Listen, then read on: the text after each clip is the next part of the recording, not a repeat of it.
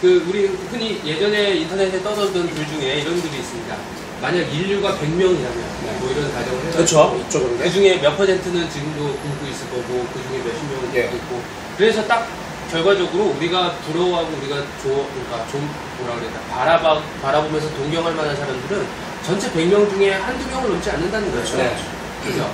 그 재밌는 거는 만약 이 설국열차가 그 현실을 제대로 반영했다라면 네. 그 1001량 칸에 들어있는 사람들의 비율이 아마 그런 비율로 봤을 때 아. 더 정확하게 현실을 반영하는 걸 겁니다. 그 얘기를 듣다 보니까 천일 꼬리칸과 머리칸에 한 사람씩 있다. 이거를 상징화한 게 아닐까요? 그런 건 아닌 것 같아요. 아닌 것 같아요. 그래서 네. 그러니까 지금 만약 한 칸씩 그러니까 천 천일 개의 계급으로 나눠져 있을 때 분명히 그 아까 얘기했던 것처럼 분명히 그 좌석 수는 좀 VIP 성으로 갈수록 좀 더 줄어들긴 하겠지만 예. 그 비율이 완벽하진 않을 겁니다. 예. 그, 그, 오히려 그런 모습들이 지금 전체 사회를 전, 그러니까 전체 사회에서 구성되어 있는 소수의 인원들이 부의 대부분을 가져가는 상황을 오히려 네. 더 반영을 잘 하고 있지 않냐. 그러니까 단순히 일, 그 수, 뭐라 해야 되나, 일, 인류를 수치상으로 나눈 그, 그런 통계보다는 권력의 크기로 나눠봤을 때는 설국 열차가 잘 반영하고 있지 않느냐 되게 그 후당한 분석같이 들리는데 그좀 있어 보이지만 사실 없어요. 그 커터스란 인물이 거기 나와요. 캡틴 아메리카에서 방패 들고 돌아치는 미국 국기로 아, 도배되는 그래? 그 사람 그 있죠. 사람이야? 그 사람이 극중 인물의 이제 명이 커터스입니다.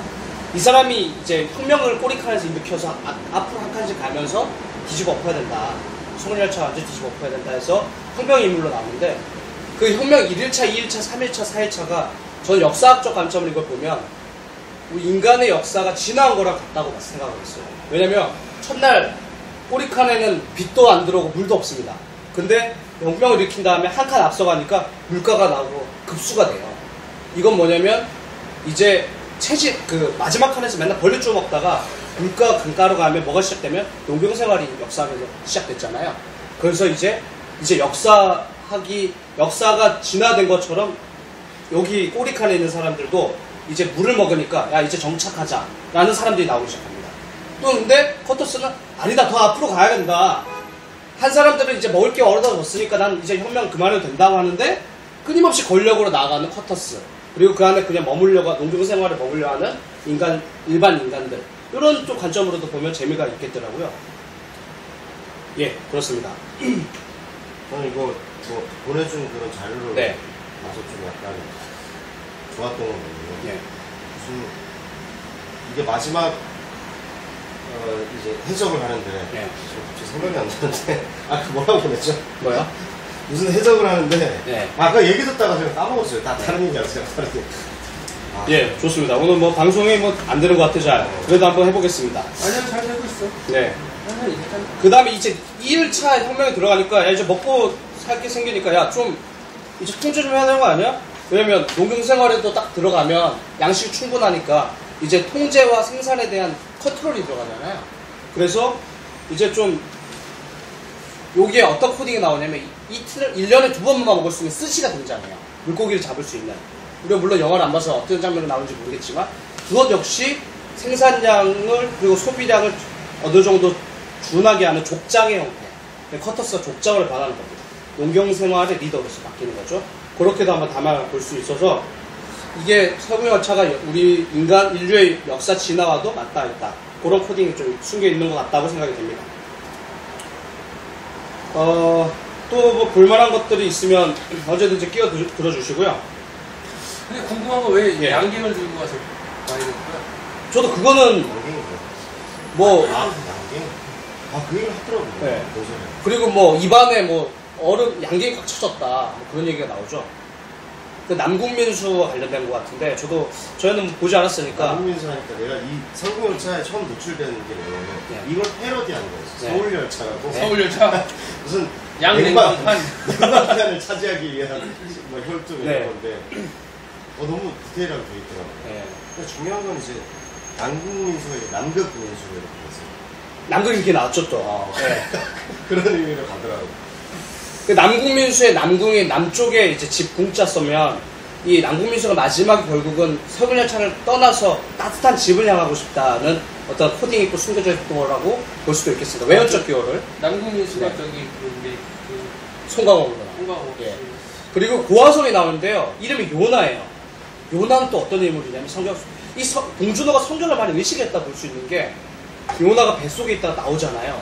요나는 아니, 고- 누구 뱃속에 있느냐가 중요한 거야. 어떤 거 뱃속에 있느냐가 중요한 거야. 누나 뱃속에 있더라. 아 물고기 뱃속에 있던 게 요나인데 그 고아성은 설, 그 기차 뱃속에 있는 거죠. 기차 뱃속에 있지만 마지막에 인류의 표상 미래 세대로 보이는 지금 신세대를 표현 신세계를 표현하거든요. 이게 또 프리메이슨 음모론을 얘기하면 New World Order 신세계의 마지막 인류니까 고아성이 마지막 기차의 시스템을 아예 탈피해 버리거든요. 기차라는 시스템은 지금 오늘날의 자본주의로 가- 저어된 포장되어 있는 우리 사회를 의미하는데 이제 어떻게 보면 이 설군 열차를 통해서 자본 시장은 실패했다는 걸 얘기하는 게 아닐까 생각이 드는데 경제학적으로도 그렇게 보여지지 않나요? 왜 그러냐면 자본주의 시장 내에서 빈부의 격차는 1001처럼 1001처럼 양극대 완전한 대립으로 진행이 됐습니다. 그게 정확한 얘기예요. 예. 그죠? 그리고 더 이상 이 맨 앞칸에 있는 사람들도 술, 마약, 섹스에 탐닉하면서 더 이상 삶에 대한 의미를 못 부여하고 사람들만 끊임없이 죽여야 된다. 이 열차는 계속 가야 하니까. 자본주의 시장은 계속 가야 된다. 월스트리트에서. 그리고 나머지 사람들, 빈, 빈곤에 허덕이는 사람들은 살 쓸모없다. 죽어도 된다. 이게 정확하게 뉴 월드 오더의 신세계 질서 인구를 5억으로 줄이자는 얘기와 맞닿아 있기 때문에 그런 음모론을 좀 제기할 수 있는 중요한 대목입니다. 지금 약간 그 뭐라 해야 되지? 약간 앞뒤가 안 맞는 얘기를 했는데 네. 신세계 질서 New Order 뭐 이런 얘기를 하는 것은 네. 지금 사회에서 만족하지 못한 대다수를 네. 현혹하기 위한 앞으로 저 새로운 세상이 펼쳐질 거야. 네. 이게 뉴 거짓 포상인데 아. 마치 뭐가 있느냐. 이게 이게 하는 없는.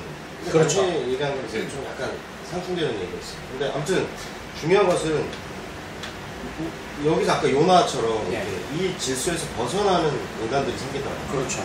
근데 마치 세상에 이게 다 있냐. 사람들을 교육시키고 키우고 그리고 심지어 부모도 그런 사람이고 음. 부모 밑에 자식도 그런 사람이 될 수가 그렇죠. 없고 뭐 이런 태도를 계속 돌아가는 게 이제 설국 열차인데 예. 전 모르겠어요. 이, 이게 뭐 기후 무기를 떨어뜨려서 이제 세상에 뭐 빙하기가 왔다고 하는데 네. 실제로 이 열차가 실제로 그 유일한 대안인가? 이거는 약간 의, 의아한. 영화 속에서 유일하게 계속적으로 영원히 가나, 가는 기차로 나옵니다. 거기만 들어가면 살 수 있는. 무조건 기차 바뀌면 죽습니다. 추워서. 아니 그러니까 그게 네. 영화 설정이기도 하고 네. 영화 안에서 그 피지배 계급들을 가두기 위한 설정이기도 하고. 그렇죠. 왜냐면 나가면 죽으니까. 앞으로 나 저는 그렇게 생각해요. 자본주의 사회를 설명을 하려면 이게 게임 이론이랑 마찬가지예요. 그 게임 굳이 안 해도 돼. 사실 그렇죠. 굳이 내가 차를 타고 이 세상을 누비면서 비행기를 타고 다 안 해도 살 수는 있어. 그렇죠. 내가 굳이 어, 항상 품질 똑같은 음식과 물과 공기를 먹지 않아도. 아- 안 해도 살 수는 있잖아. 그 다음에 거기에 걸맞는 약을 투, 투약받고 뭐 질병을 약간 벗어나면서 살지 않아도 살 수는 있어. 음. 약간 불편하고 약간 어렵고 춥고 덥고 예. 뭐 이런 거겠죠.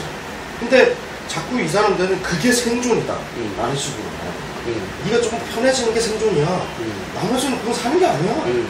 그렇죠. 이런 의미에서 아마 기차에서 벗어나면 죽는다라고 했던 것 같아요. 음. 기차 밖에 차가운 그 그러니까 현실을 좀 죽는 것 같다. 네, 어떤 그 격, 인격의 죽음 이런 느낌인 것 같아요. 제가. 혁명 3일차에 가면 뭐 교육을 시킨대요, 이제 사람들을. 전형적으로 진- 등장하는 지배계급의 피지계급을 위한 교육이라는 시스템인 거죠.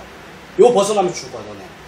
그러니까 지금의 교육 시스템도 마찬가지예요. 나중에 우리 공보육에서 살펴보겠지만은 기차 밖은 무조건 죽는 거예요. 사실 기존의 교육에서 나간 다- 대안학교를 마치 처음에는 실패한 인생들. 너네는 끝났어. 이렇게 보는 현실과도 맞닿아 있다고 볼 수 있거든요. 또 저희는 사실 자본주의 세계에서 이미 많이 벗어나 있는 분들이잖아요. 아 이거 뭔, 뭔 소리야? 안 벗어났어. 똑같이 최근- 다 돈을 벌고 사는데. 네. 나 자본주의 끝자락에 있지. 끝자락에 있지 기차 타고 계신 거군요. 사실 근데 앞칸에 있다 갑자기 뒷칸으로 가셨다 왔다 갔다 하시는 인물로 보여주면 되나요? 뭔지 한번 뭐 가져먹는 자, 알죠. 자, 우리 스스로 한번 판단해 보죠. 예. 천일량의 어디, 기차가 어디 있느냐? 어디쯤일까요?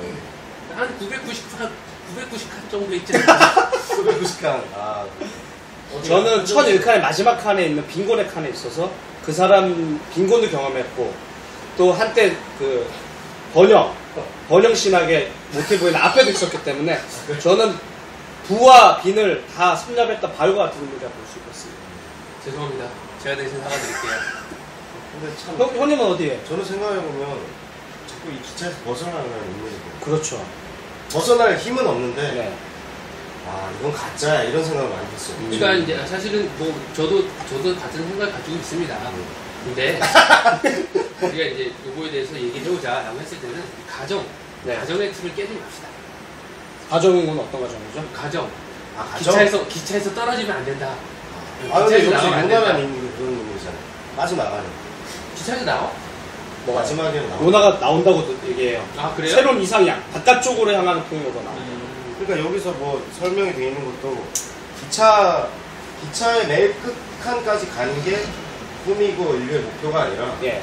기차 밖의 세상으로 기차 자체를 벗어나야 된다. 음, 이게 아마 다양성과 뭐 여러 가지 그래서 그 송광호 중간에 뭘 밖에서 곰을 봤대요.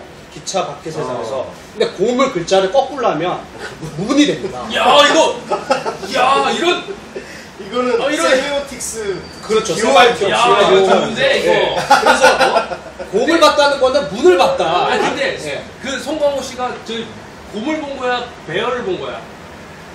곰이 배어예요. 아니 그러니까 아니 그러니까 거기 극상에서 아, 백사에서 한국 사람이가 곰을 본 거죠. 아, 이 사람이 한국말을 해요. 한국말로 나와. 네. 한국말을 아, 주게. 한국말로 해? 네. 아. 그리고 다른 사람들한테 뭐 번역기를 드리는 거예요. 그렇죠, 예. 아니 그러니까 만약 그, 그 사람이 이제 영어를 계속 쓰는데 곰을 봤는데 그게 배우면 천생연분인데 네. 근데 아 진짜 곰을 한국말 봤는데 곰을 봤는데 그렇지, 이게, 아 그렇지. 한국말이 좀 음. 모를 수 그리, 있지 그리고 또 어. 제가 아까 자본주의 얘기를 열차 비교했는데 열차 이름이 CW7입니다.